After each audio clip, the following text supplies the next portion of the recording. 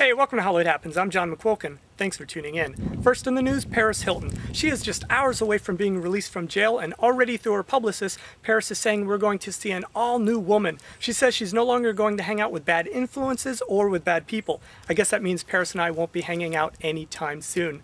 Next in the news, actor Tom Cruise. He was all set to do a World War II picture down in Germany, but German officials will not let him in the country. They say they they do not agree with Tom's religion, which is Scientology, and they consider it a cult, and they do not want him or his crew in the country. So Tom's going to have to find a new location to shoot that film.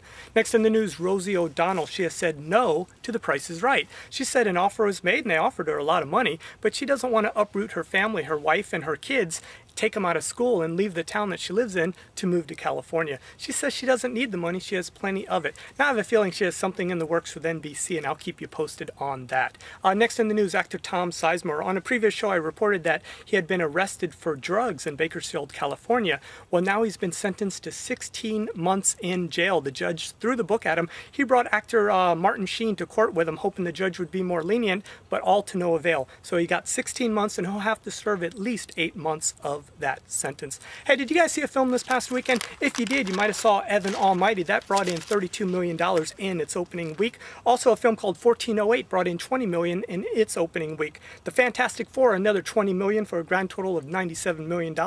Ocean's 13 brought in another 11 million for a grand total of 91 million. And Knocked Up, the hilarious new comedy, brought in another 10.6 mil for a grand total of $109 million.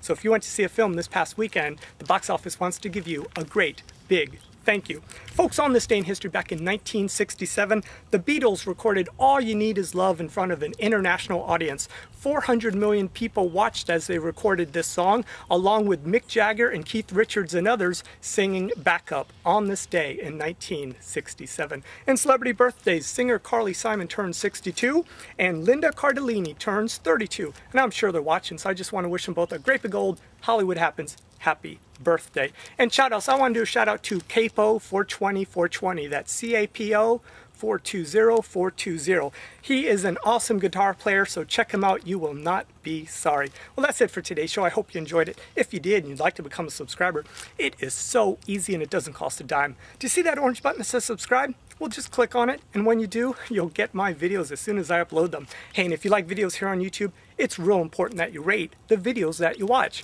and you do that by clicking on those stars. Well, that's it. I thank you for watching, and I thank YouTube for providing this forum that lets you watch. I'm going to have another show real soon, I promise you that. So until then, take care, everybody, and I'll see you in Hollywood.